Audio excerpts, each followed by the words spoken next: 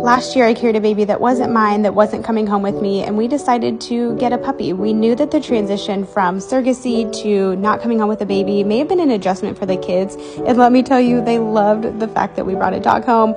Now, this dog we did get primarily for hunting and secondary a family dog. Dan and I did as much training as we knew possible with obedience and retrieving, but at the end of the day, we have no clue what we're doing. So we decided to send him off to training in Texas, and let me tell you, he is living his best best life.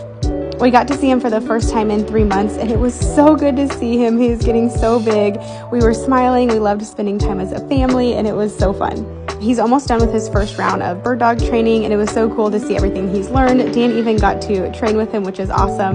Because he is primarily a hunting dog, he has a few more months of training just to ensure his safety when he's out in the field with hunters, and we cannot wait till he gets to come home with us, but we loved spending this time with him.